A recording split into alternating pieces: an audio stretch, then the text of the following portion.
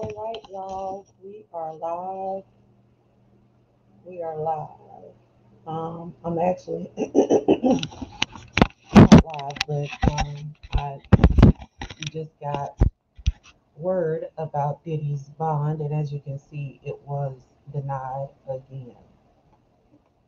And I know that there are a lot of jokes on social media and just on the internet about baby oil and all of this, but I do um, believe we should just stay focused on the trial itself and the individuals involved that have come forward, as well as a lot of them are, you know, potentially that have not come forward because it it this is a mess.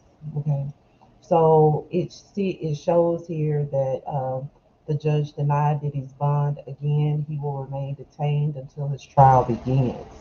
And I saw um, where someone, another content creator, said that it could be years. It could be years before he goes to trial. Um, I'm actually going to do a different video just discussing uh, the prison that he is at um, so that you guys can kind of get an idea of what his living situation is right now. In it, it says the government has proven the defendant is a danger. Regarding the bail package, it is insufficient even on risk of flight. And this is a copy of the uh, the defense team's uh, proposed $50 million bond. You see, he was going to do a $50 million bond, which would be co-signed by Combs, his son, his sister, and mother of his oldest daughter, and his three adult sons. Uh, the equity that would have been secured is um, the home in Miami appraised at 48 million. Uh, he went ahead and paid off any remaining mortgage um, so that the home could be used to secure a bond and be free of a mortgage. Uh, secured equity of Mr. Combs' mother's home located in Miami, Florida. Uh, he was his travel was to be restricted to the Southern District of Florida and Southern District of New York to attend court, meet with his counsel, and attend medical appointments, which we will address to the court in a separate sealed submission, as well as Eastern District of New York or the District of New Jersey, only to the extent that his travel to and from New York involves an airport in those districts. His passport was surrendered to his counsel on April 1st. His counsel advised prosecutors of this fact in an email dated the same day. Counsel will provide this passport passport to pretrial services and the passports of the following family members were surrendered as well his mother, Janice Combs, and his daughters, Chance, Jessie, D'Lila, and Love.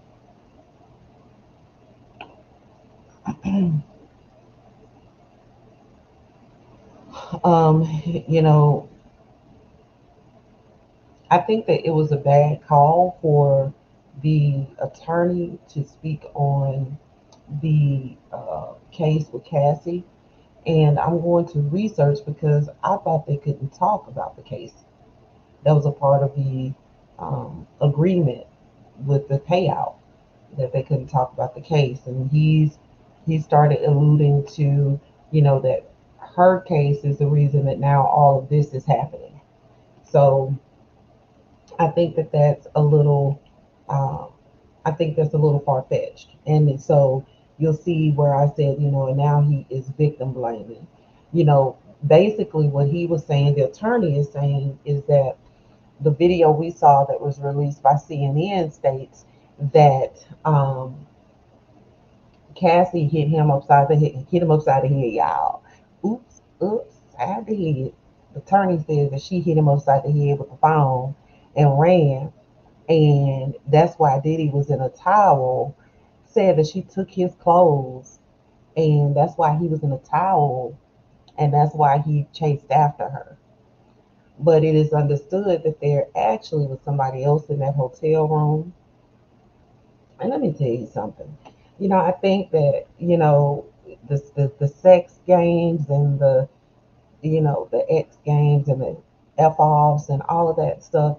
I mean, look, when you are potentially in love with someone, and everybody says, "Oh, they look like they were so in love when they were together." Okay, get it. But once you really are in love with somebody, do you really want someone else in the bedroom like that? do you want your relationship relationship to be based on the, his fetishes or in my opinion his fetishes or his need for different things within the bedroom you know what i'm saying like it's just to me it's just weird um and so you know he's saying that you know she um, took his phone i mean hit him with the phone ran out took his clothes that's why he was in a towel. And my thing is, do you not remember that your client went online, went and did a video apologizing, saying that after that he went and got the help that he needed? And now in these filings here, we see that there is some drugs and uh, drug issues. And when they actually arrested him uh, up in the hotel room, there was like a pink sub powder substance that they presumed to be ecstasy. So like, sir, come on now. Now you the victim blaming is horrible. And I think that again, the victim blaming is another example of that power, that power that people have, right? You have the power to even come out and then say, oh, uh, uh, uh, it was her. She was the one that initiated. He was just trying to defend himself and get his clothes back or whatever. Again, using your power, your name the positioning and the attorney that you can afford at this time, um, that you can afford at this time to then go ahead and start putting out a false narrative. And the thing about it is, I wonder if Cassie can, you know, seek seek some retribution for that. So that will be interesting. I don't, I, you know, I almost, I, I don't know. I don't know. What do you guys think? Do you think Cassie will even address or have her attorney address the statements made recently by Diddy's attorney. What What do you guys think? Um, and another little bit of news that I thought was interesting. DJ Envy says he believes Diddy should be granted the opportunity for bail, just as other celebs formerly accused of sex crimes. And I'm going to play this, but one of the things, you know, DJ Envy can really get like, he gets like like I'll never forget the interview with Eboni K. Williams. Never will I forget that interview. And the way that he came for Eboni K. And I get it. Eboni K. Williams has her opinions, um, and people don't agree. But I also don't think, even if you don't agree with what her opinion was when it came to the bus driver in that situation, I still think that you have to stay professional, and I think that you still should be respectful, even if you disagree with what her stance was. That's her belief. That's her value system. That's the way she sees it. I'm not saying I agree or disagree, but the way that he came at her, it was aggressive and it was mad disrespectful, in my opinion. So he says, you know, that he believes that he should um, be granted the opportunity for bail. And I think it's interesting because we we, we mentioned yesterday that when he when he was made aware of the of potential charges, etc., he, he, him, and all of his affiliates were out here contacting people, trying to convince them not to say anything or to say that it was consensual. Um, he, uh, you know, uh, was called called Kalenna 54 times after Dawn Richard really, you know, did file her uh, lawsuit. So again, they're not giving him bail because of his behavior since the Cassie lawsuit and what he has done. So um, we'll play this here.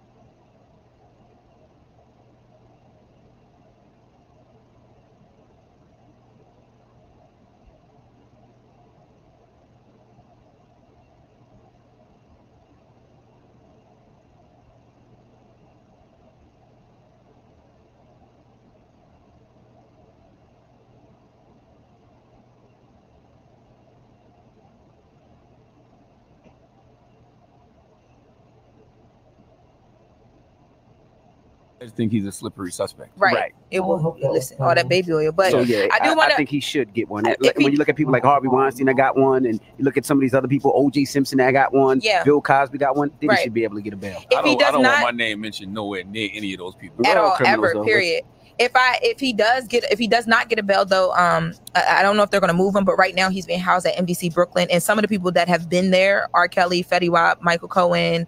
Um, Now you don't want your name with those people either. yeah, Nope. uh, um, and I I want to you know move it. And I agree with Flawed and Flawed Fabulous when she said not a single one of these men are defending the victims, and I agree. You know, I think it was also in that conversation when, you know, there was just some frustration from people about Cam Newton and him saying he didn't want to be married, but he has eight kids. And, and you know, I saw a, a large amount of men saying, I see both sides.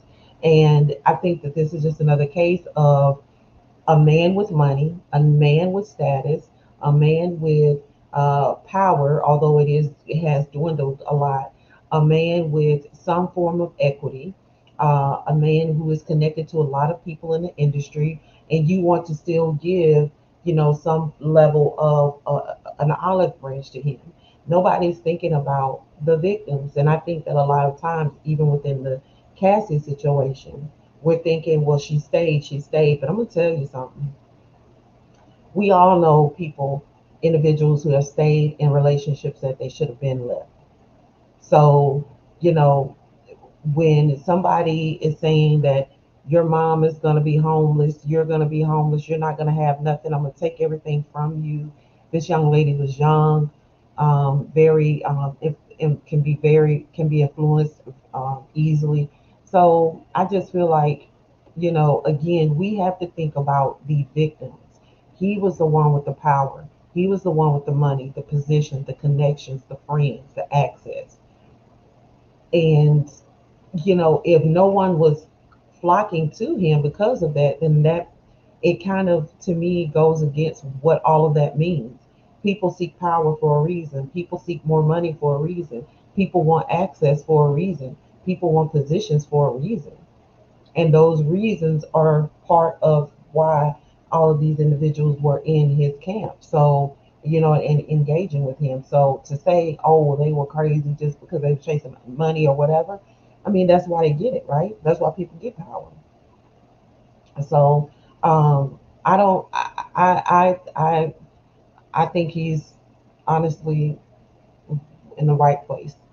Um, the assistant U.S. attorney reveals content of text messages Diddy, Diddy sent Cassie after he assaulted her in 2016. And so it's obvious that um, the assistant U.S. attorney is like, look, um, we want to make sure that we're very clear on what he says versus what he does. So um, he says, call me. The cops are here. I got six kids. Yo, please call me. I am surrounded. You're going to abandon me all alone. And I just feel like that's kind of what that's what someone who continues to try to get you to do what they want you to do. Oh, so you're gonna do me like that? Oh, so that's how it is. Oh, so you just gonna leave me hanging like that? You're just gonna leave me like that? And I mean, at the end of the day, this girl was running for her life, for real, for real. Um, she references the incident involving Cassie that led to the violent encounter seen on video released by CNN. The defendant had a F off on March 5th, 2016. We have evidence there was one commercial sex ex worker there in the room during the assault. She isn't even wearing shoes. She is in danger. Defendant storms out in a towel. We have a message from the victim. I still have crazy bruising. He claims he wanted to get his clothes back, but that's not what happened here. She tried to escape a room with the defendant and a commercial ex worker. She fled without shoes. Immediately after the assault, the defendant sent these messages Call me, the cops are here. I got six kids. Yo, please call me. I am surrounded. You gonna abandon me all alone. The defendant knew he had done something that could elicit police response. Um, and so there's also um, someone saying that one of the hotel employees who tried to step in and stop it was um, later paid off to not say anything. So D- Diddy's bond appeal is currently underway, and a U.S. an assistant U.S. attorney, Emily Johnson, is making the prosecution's prosecution's case for Diddy remaining behind bars until the start of his trial. During her statement, she referenced Diddy's 2016 assault on Cassie, which was caught on hotel surveillance video. She revealed that Diddy sent text messages to Cassie after the assault and alleges that they were engaged in a F off with an ex worker before the assault took place. Um, So let's let's have a conversation down in the comments. I want to know, um, do you think he should have gotten bond or bail? Let me know. What do you think? Look, this is a free space where we can come in and share our beliefs and not be disrespectful. So I, I want to know what you guys think. And tune in for the next video. Make sure you subscribe to the channel and like the video.